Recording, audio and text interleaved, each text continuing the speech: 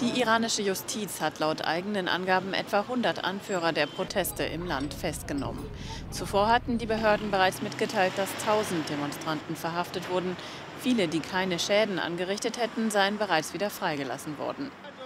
Der Justizchef des Iran, Ebrahim Raisi, drohte denjenigen, die die Atmosphäre missbraucht, Unsicherheit geschaffen und öffentliches Eigentum angegriffen hätten. Sie und die Hintermänner würden hart bestraft werden. Die Proteste hatten vor einer Woche begonnen, nachdem die Regierung drastische Benzinpreiserhöhungen angekündigt hatte. Raisi kritisierte Präsident Hassan Rouhanis Vorgehen. Der Hardliner ist ein Gegner des Präsidenten. Am Donnerstag gab es in verschiedenen Städten zudem Proteste, die von der Regierung organisiert wurden. Die Demonstranten riefen Slogans wie Tod für Amerika. Der Iran hat durch die Wiedereinführung der US-Sanktionen nach der Aufkündigung des Atomabkommens durch Washington mit großen wirtschaftlichen Schwierigkeiten zu kämpfen.